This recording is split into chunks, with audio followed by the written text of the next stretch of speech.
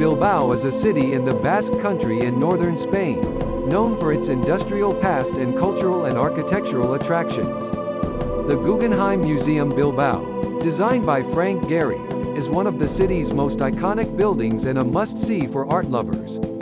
Casco Viejo, or the Old Town, is also a popular destination, home to many historic buildings such as the Basilica of Begoña and the Cathedral of Santiago.